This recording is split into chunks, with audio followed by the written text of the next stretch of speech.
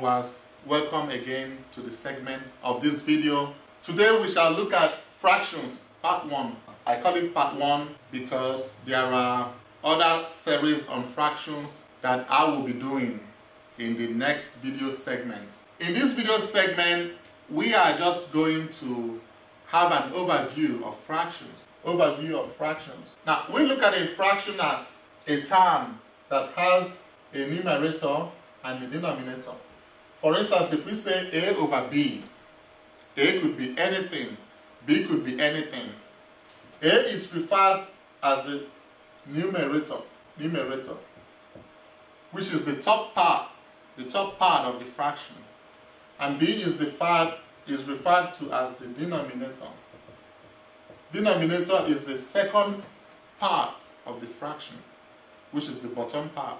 Whenever we have a fraction like this, the top part is called the numerator and the bottom part is called the denominator.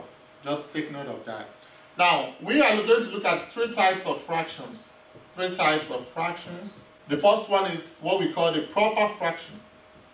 Proper fractions. Proper fraction is a fraction in which the numerator is less than the denominator. Right? Fraction in which the numerator is less than, this means less than, is less than the denominator. So let's let's get acquainted with math signs. Okay, I just put less than. So examples, you can have 3 over 5, 4 over 7, 2 over 3, 1 over 2, and so on. 3 is less than 5, 4 is less than 7, 2 is less than 3, 1 is less than 2. Now, the second part is what we call the improper fraction. Improper fractions. They are improper. This is proper. Improper fractions are fractions fractions in which fractions in which the numerator is greater than the denominator. Numerator is greater than denominator. Example of improper fractions, we have 5 over 3, 7 over 4, 3 over 2, 2 over 1, which is still 2, or we can say 3 over 4 over 3. Yeah, now 2 over 1 is really not an improper fraction because 2 over 1 is still 2. We, we will rather refer to it as a whole number rather than a fraction. So 5 over 3, 7 over 4, 3 over 2, 4 over 3. These are improper fractions because the numerator is greater than the denominator. The next one is what we call the mixed numbers. The mixed numbers. The mixed numbers consist of a proper fraction and a whole number. Right? It's a combination of a whole number. A whole number is called an integer. So in some textbooks you will see integer. Combination of an integer or combination of a whole number and a proper fraction and a proper fraction. Examples of mixed numbers, we have 2, 1 over 3, 4, 1 over 5, 7, 2 over 7, 11, 1 over 2, and so on. Actually, in this segment, we are going to look at converting improper fractions to mixed numbers and vice versa. Now, I would encourage you to watch other video segments on fraction, right? But in this segment, we are going to uh, look at converting uh, mixed numbers to improper fractions and so on. Now, I noticed that I wrote ellipsis. Ellipsis. In, in mathematics, when you see ellipsis, that is those three, top, three dots, it means that it runs continuing, continuing, and continuing. So it goes on and on and on. If you can see, I put ellipses here, those three dots, here, here, and there. So I'm going to be using it throughout this class as well, the ellipses. So let's go to converting mixed numbers to improper fractions. We will do a few examples and then we will also do few examples of converting improper fractions to mixed numbers. So let's say example 1, 1, 2 over 5. Is this a mixed number or not? Is this, what kind of fraction is this? Is a mixed number. And I want to convert it to what? Improper fraction. So convert this to improper fraction. Improper fraction. Now, look at the way you do it. And I'm gonna show it. If I write 1, 2 over 5, I'll have an arrow here, and I'll have an arrow here. I hope you see it clear, clearly. You see it clearly. So this means 5 times, I'm going to put times here, 5 times 1, and then you add 2. This is kind of a uh, very quick way to do it. All you need to do is you take the denominator and multiply it with the whole number and then add it to the numerator. So use the denominator, which is 5, multiply it with the whole number, multiply with the whole number or integer. Now, anytime I say whole number, I mean integer. So I want you to be familiar with it. If you watch other video segments, you will understand what I mean. Multiply with the integer, which is 1, and then add the product to the numerator. Add the product to the numerator. So that is how you do it. So this gives us that 1, 2 out of 5 will give us 5 times 1 plus 2 over 5. We have to still put, when you add the product to the numerator, you still have to put the fraction bar, okay, all over the denominator. You still have to put the fraction bar. That is what I mean. It's not like, so you, you take the numerator, you take the denominator, multiply by the whole number, add it to the numerator, and still put your fraction bar. This is the fraction bar all over the denominator. So this is 5 times 1 is 5 plus 2 over 7 over 5, which is 7 out of 5. That is what it gives us, 7 out of 5. This is now the improper fraction. Now, what if we want to convert it back to mixed number? Now, convert 7 out of 5 to mixed number. Back to mixed number.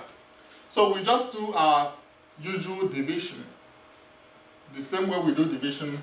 5 divide 7. Or 7 divided by 5. Now, I want you to learn the, the, the terminology. You either say 5 divided 7 or you say 7 divided by 5. Okay? 5 divided 7 means 7 divided by 5. So actually we now do this. 5 divided 7, right? We have 1. 1 times 5 is 5. Then minus 7 minus 5 is what? 2. So this means one whole number, 2 out of 5. Now, some of you might ask, why, how, do you, how did you come up with this, right? I'm, gonna, I'm going to explain it. Now, if, if you look at this example, 5, 7 is known as the dividend, dividend. 5 is known as the divisor. 1 is known as the quotient. And 2 is known as the remainder. Remainder. Now you did 4 times whenever you are doing division. Right? The dividend is the number being divided upon. The number that is being divided is the dividend.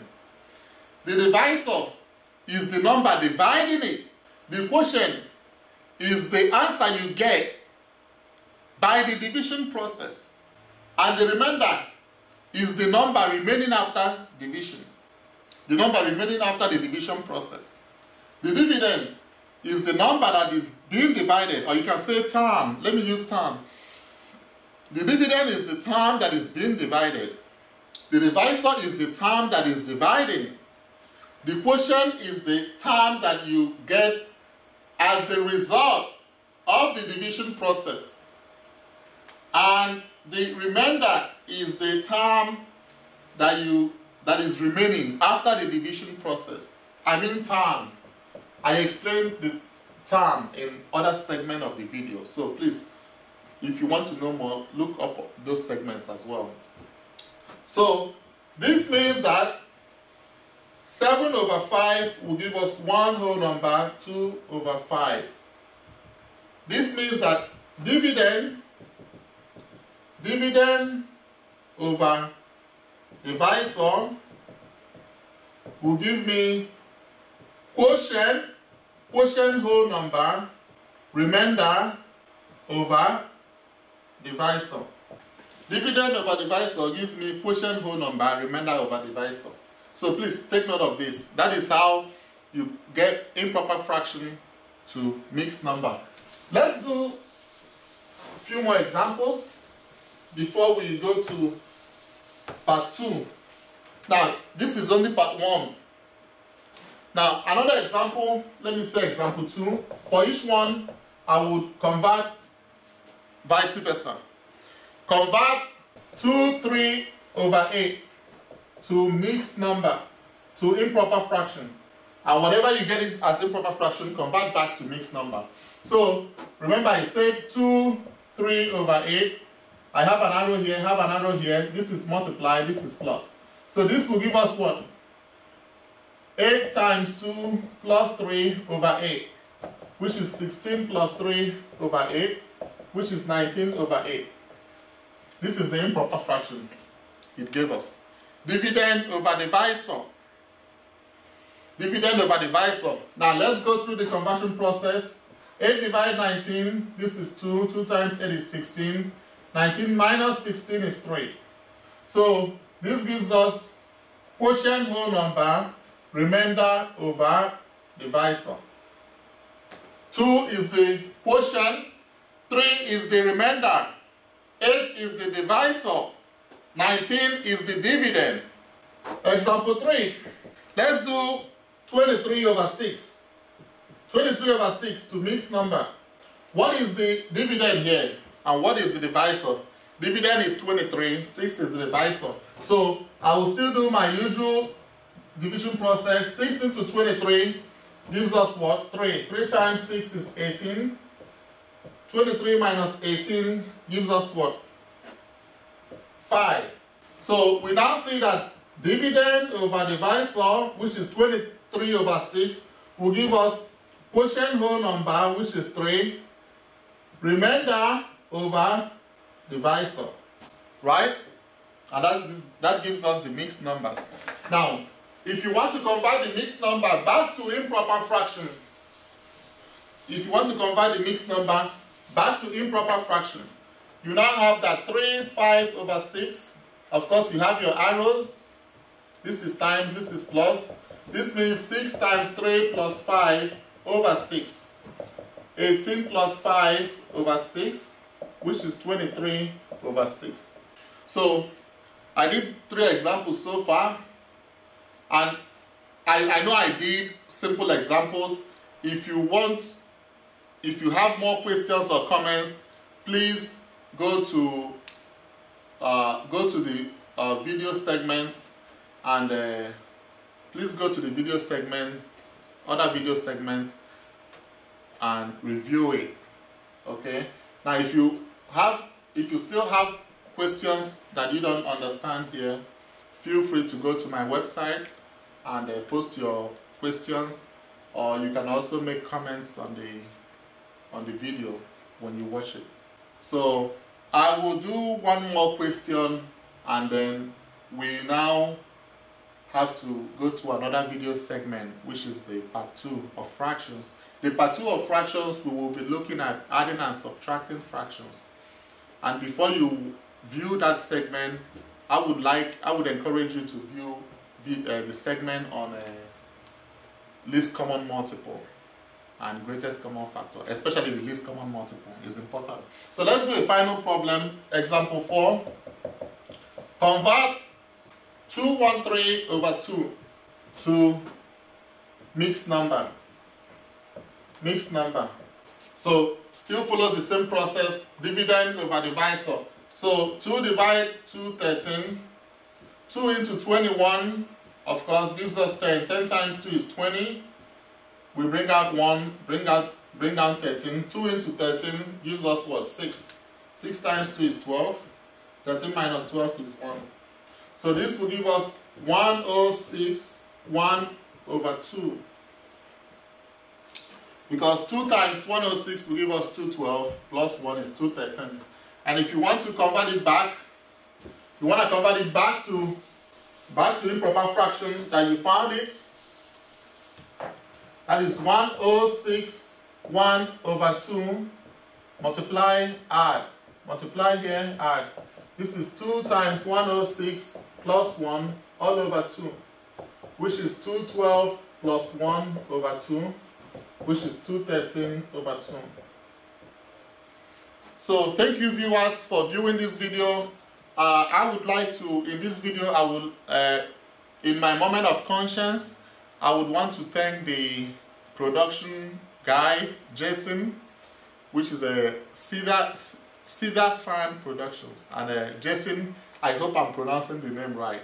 Uh, he has been doing a marvelous job. Uh, so in this moment of conscience with Subdom, I would like to thank Jason for his hard work. Thank you and have a nice day. See you in another segment.